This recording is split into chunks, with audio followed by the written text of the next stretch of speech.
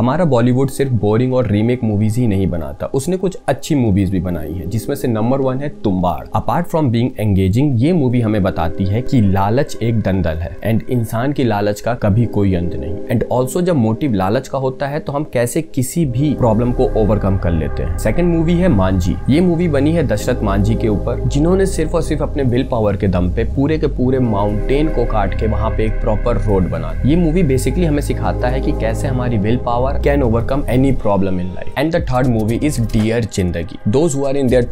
उनके लिए ये मूवी बहुत ही इंपॉर्टेंट है बिकॉज ये मूवी हमें सिखाती है की कैसे लाइफ के एक सेटबैक की वजह से हम टेम्प्रेरी अटैचमेंट्स में जुड़ जाते हैं और ये टेम्प्रेरी अटैचमेंट्स हमें कितना सफर करवा सकती है एंड कैसे हम उसको ओवरकम कर सकते हैं